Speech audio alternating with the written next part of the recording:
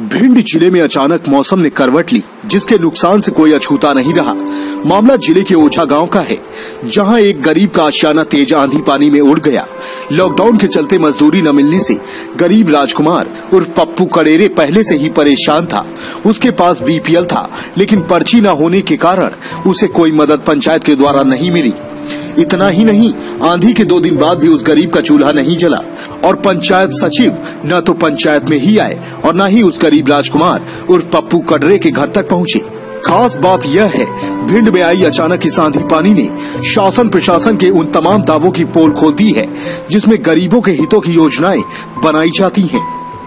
राजकुमार उर्फ़ पप्पू कडेरे निवासी ओझा ही एक ऐसे नहीं है जो शासन प्रशासन की योजनाओं से दूर हैं, बल्कि ऐसे कई लोग भिंड ज़िले में हैं जो आर्थिक तंगी के चलते जूझ रहे हैं।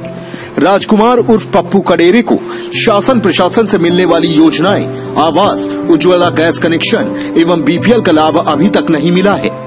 इन शासन प्रशासन के नुमाइंदों को दिल झकझोर देने वाली आर्थिक तंगी के चलते इन गरीबों की चीखें सुनाई ही नहीं पड़ती हैं। के तूफ़ान में हम सब लोग इस ट्रेन में दब गए और हमारे कल से हमारे यहाँ खाना नहीं बना हुआ और पटवारी सेक्रेटरी सरपंच कोई हमारी यहाँ सुनवाई नहीं करते। जब कहते हैं तब कहते हैं भोपाल से आए हैं।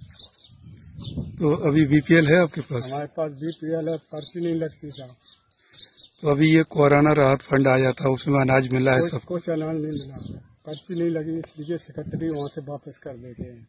आपको मिला नहीं? नहीं मिला। गैस? गैस भी नहीं मिली इसमें पर्ची नहीं ये कहते हैं। उज्ज्वला कनेक्शन नहीं मिला आपको? नहीं मिला। तो अभी तक कोई आया नहीं पंचायत के द्वारा या सचिव वगैरह भी? सचे बातें हैं कहते हैं हमारे हाथ में नहीं भोपाल से आते हैं हर चीज़। अभी जो आंधी पानी तेज आई थी उसके बाद कोई आया आपके कोई नहीं आया। पटवाई अभी आए थे वो लिख ले गए। हर बार एक बार और गिरा था तब पटवाई लिख ले गए कुछ नहीं मिला सुनवाई नहीं होती थी भोपाल से होती है हमारे हाथ में नहीं है। शौचालय? शौचालय मिला है उस पर छत नहीं उसमें अनाज भरा। बिना छत के शौचालय? हम्म, तो अनाज खराब नहीं हुआ? अनाज भीग गया। क्या नाम है आपका? राजकुमार। गाँव? जब हमने इस संबंध में गाँव के सरपंच से बात की तो उन्होंने मदद पहुँचाने की बात कही और गलती को स्वीकारा है। आपकी पंचायत में राजकुमार उर्फ़ पप्पू कड़ेरे हैं। अभी आंधी और तूफ़ान आया था उसमें उनका मकान गिर गया है। और इससे पहले कोरोना वायरस के चलते मजदूरी न मिलने से वो परेशान थे। बीपीएल होने के बावजूद भी पर्ची नहीं थी लेकिन अभी तक उन्हें अनाज नहीं मिला। है बताएँ आप। बीपीएल बना है उनका लेकिन ऑनलाइन दर्ज नहीं है इसीलिए उनको राशन नहीं मिला। अभी कल आंधी तूफ़ान आया था। तब से लेके अभी तक आपके पंचायत के सचिव यहाँ पर आए हाँ? आंधी से पहले आए थे बाद में नहीं आए। आंधी के बाद नहीं आए ना? तो क्या उनका फ़र्ज़ नहीं बनता है ऐसे लोगों के लिए मदद करना? है। उनके पास उज्ज्वला कनेक्शन नहीं है। हाँ। क्या उनके लिए कोई विशेष सहायता कब तक मिल जाएगी? उनका नाम प्रधानमंत्री वहाँ में जोड़ दिया है आवास में। अब जब तक मिले हम तैयार हैं अभी जो कोरोना फंड के तहत प्रति यूनिट चार किलो गेहूँ एक किलो चावल मिलना था वो कब मिल जाएगा उनको? वो दो चार दिन में दिलवा ही देंगे उनको कुछ भी करें दिलवा तब तक भूखा ही रहेंगे? नहीं आज ही दिलवा दे अपनी तरफ़ से दे देंगे ऐसा कुछ। क्या नाम है आपका? नरेश सिंह। सरपंच हो? नरेश सिंह गाँव कौन सा है?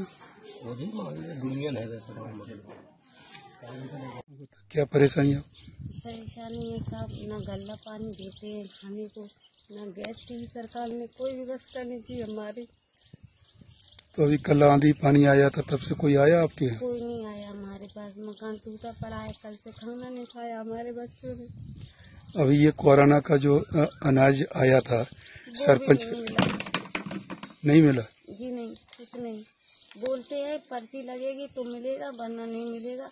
और सेक्रेटरी के पास जाओ तो बोलता है भोपाल से आएगी उसके बाद होगा कुछ। पैसे दे दो तो कुछ हो जाएगा। क्या नाम है आपका? नाम हमारा गीता है। गाँव कौन सा है? ओजा ज्ञान न्यूज़ के लिए भिंड से प्रदीप राजावत की विशेष रिपोर्ट।